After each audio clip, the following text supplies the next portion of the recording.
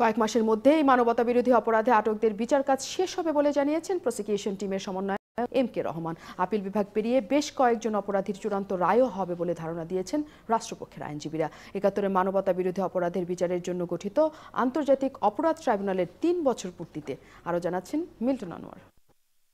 Six years after the Nazi Holocaust ended, the Bangladesh Holocaust began. একাত্তরে বাংলাদেশের মুক্তিযুদ্ধে পাক বাহিনীর দোসর রাজাকার আলবদরের যুদ্ধাপরাধের বিচার শুরু হয় স্বাধীনতার পরপরই। উনিশশো বাহাত্তর সালে দালাল আইনে সাঁত্রিশ হাজার মানুষকে গ্রেপ্তার করা হয়। বঙ্গবন্ধু সাধারণ ক্ষমা ঘোষণার পরও এগারো হাজারের বিরুদ্ধে মামলা করা হয়, যাদের মধ্যে সাতশো বাহান্ন জনকে আদালত সাজা দেন। কিন্তু রাজনৈতিক পট পরিবর্তনের পর সাজাপ্রাপ্তরা সবাই একে একে ছাড়া পেয়ে যান।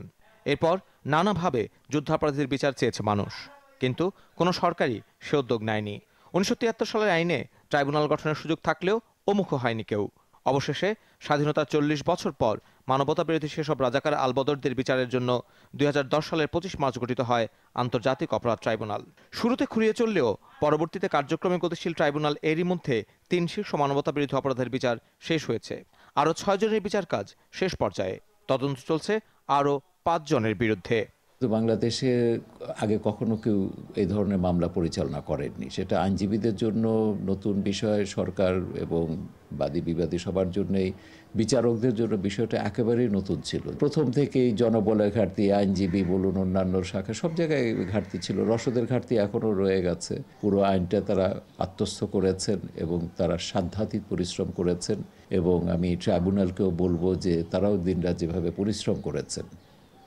এটা খুবই ইতিবাচক। তবে এখনও ট্রাইব্যুনাল স্থায়ী রূপ না পাওয়ায় অসন্তোষ প্রকাশ করলেন শাহরিয়ার কবির। বললেন ট্রাইব্যুনালের প্রসিকিউশনের দুর্বলতার কথাও। কারণ ট্রাইব্যুনালের কয়েকজন আইনজীবীর কাজকর্ম সম্পর্কে আমরা মোটেই সন্তুষ্ট নই।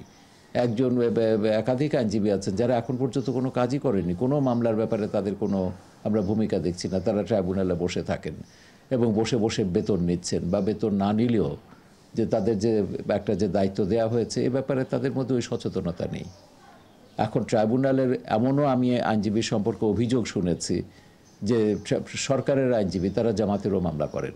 প্রসিকিউশনের দুর্বলতার কথা স্বীকার করে সমন্বয়ক বললেন তারা তা কাটিয়ে ওঠার চেষ্টা করছেন। আশা করলেন আগামী কয়েক মাসের মধ্যেই সব মামলার বিচার কাজ শেষ হবে। ট্রাইব্যুনালের নতুন প্রসিকিউশন টিমও নতুন এবং আইনের প্রয়োগিক দিকটা প্র্যাকটিসের দিকটা সেটাও কিন্তু নতুন। তো সেখানেও তারা চেষ্টা করেছে তাদের মতো করে করার জন্য। সেটা জামাতেদের মামলা করছে এই ধরনের ইনফরমেশন আমার নেই। তবে প্রাইভেট প্র্যাকটিসও করেছে, কিন্তু পরে গভর্নমেন্ট থেকে বলে দেওয়া হয়েছে, আপনারা কোনো প্রাইভেট প্র্যাকটিস করতে পারবেন না। ছটা মামলা আছে যেটা সেটা শেষ হয়ে যাবে। কারণ যে জুডিশিয়াল যে প্রসেস সেই প্রসেসটার আমার অভিজ্ঞতার আলোকে আমি বলতে পারি যে এটা সাক্ষীর পর্যায়ে আছে, তো এই পর্যায়ে এটা শেষ হয়ে যাবে। আইন অনুযায়ী ট্রাইব্যুনালের রায় ঘোষণার ত্রিশ দিনের মধ্যে আপিল করার বিধান আছে। আর আপিল করার ষাট দিনের মধ্যে তা নিষ্পত্তি করতে হবে। সে হিসেবে অনেকগুলো মামলার চূড়ান্ত রায় এই সরকারের আমলেই শেষ হবে বলে ধারণা করছেন রাষ্ট্রপক্ষের আইনজীবীরা। মিল্টন আনোয়ার, একাত্তর, ঢাকা।